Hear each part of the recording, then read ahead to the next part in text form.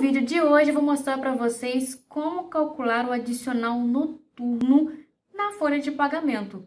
O adicional noturno, para quem não sabe, exige uma redução na carga horária.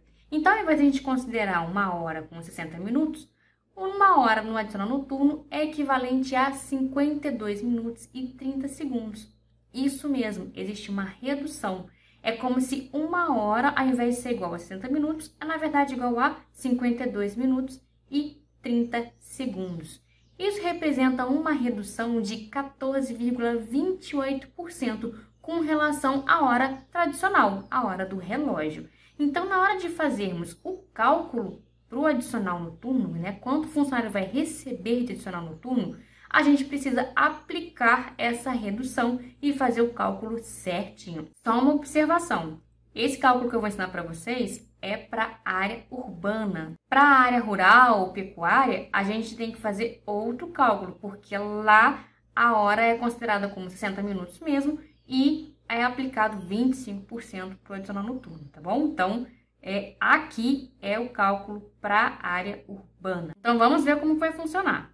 Aqui nós vamos colocar exatamente a hora relógio. Então, se ele fez uma hora, considerando hora relógio, a gente vai colocar aqui uma hora. A gente não vai fazer já a conversão para 52 minutos e 30 segundos. Não.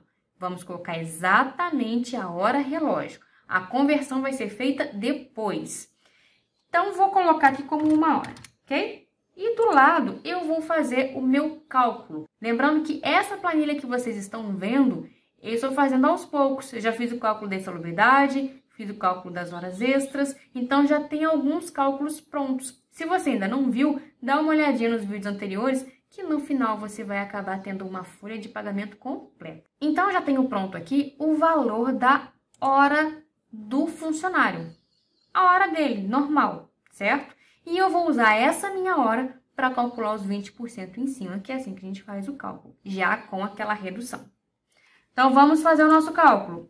Igual a quantidade de horas, vou colocar entre parênteses aqui para ficar mais fácil para a gente localizar as partes, a quantidade de hora relógio que o funcionário trabalhou, vezes, lembra que a gente tinha uma redução aí de 14,28% com relação aos 60 minutos? Então, a gente vai fazer o cálculo aqui 1,1428. Fecha parênteses. Estamos aplicando aqui a redução. Agora, a gente vai pegar esse resultado aqui, que é o total das horas noturnas que o funcionário trabalhou, multiplicar o valor da hora, que já foi calculado nos vídeos anteriores, vezes os 20%. Só que aí, ao invés de eu escrever 20% ali em cima, eu vou fazer diferente eu vou fazer calculando lá na planilha das alíquotas, que eu já deixei prontinho aqui, 20%. Sadora, se eu colocasse lá 20% funcionaria? Sim. Por que, que eu não faço dessa forma? Porque a gente tem outros cálculos que podem envolver o adicional noturno. E aí, quando tiver alguma alteração, que a gente sabe que às vezes pode acontecer, ao invés de ser 20%, passar a ser 25%, passar a ser 30%, passar a ser 15%, ao invés de eu ter que me preocupar em procurar todas as fórmulas que tenha escrito 20% para fazer alteração, é só eu vir aqui e fazer a alteração de 20% para 15, 25, enfim, para o número que for, tá? Então, assim acaba ficando mais fácil. Eu tenho uma planilha de base que ela vai servir para todos os cálculos que eu for fazer dentro da minha folha de pagamento. Então, 20% aqui. Vou clicar aqui em cima porque não dá para eu voltar agora, senão vai dar mais confusão. Vou fechar o parênteses e eu vou multiplicar tudo isso por 24. Por que o 24? Porque eu estou trabalhando com duas unidades diferentes, valor monetário e hora.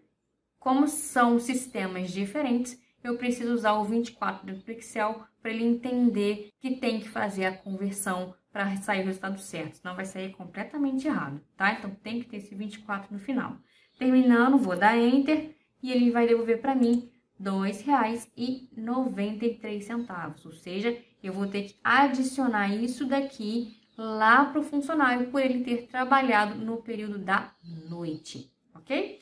É isso, minha gente, o Adicional Noturno. Fiquem ligados aí no canal, não deixem de se inscrever, ativar o sininho, que eu vou estar mostrando para vocês outros cálculos que fazem parte da folha de pagamento, ok? Então é isso.